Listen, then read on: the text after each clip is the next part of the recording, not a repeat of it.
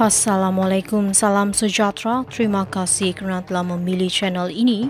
Jangan lupa tekan butang like, komen, subscribe dan share berita-berita yang panas hanya di channel.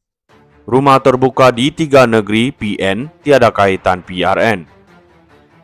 Perdana Menteri Dato Sri Anwar Ibrahim hari ini menyangkal dakwaan penganjuran Majlis Rumah Terbuka Malaysia Madani di Kedah, Kelantan dan Terengganu kerana negeri-negeri berkenaan bakal menghadapi pilihan raya negeri PRN.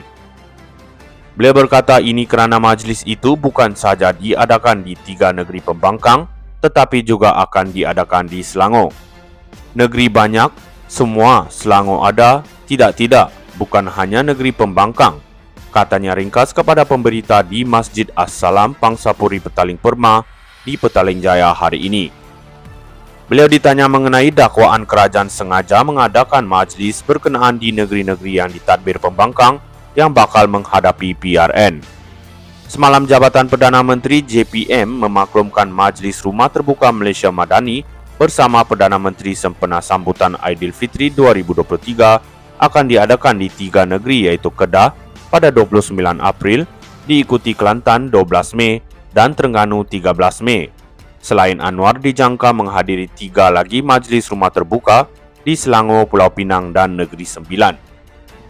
Terdahulu Perdana Menteri menunaikan solat Jumaat bersama masyarakat setempat di Masjid As-Salam Pangsapuri Petaling Perma.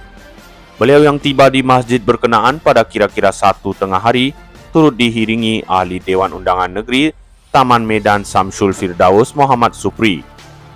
Anwar dan jemaah turut mendengar khutbah bertajuk meraih hasil terbiah Ramadan yang disampaikan Ketua Biro Dakwah Masjid berkenaan Muhammad Firdaus Mahat. Selesai menunaikan solat Jumaat yang diimamkan Muhammad Firdaus, Perdana Menteri meluangkan masa bersalaman serta beramah mesra dengan beberapa jemaah sebelum meninggalkan masjid itu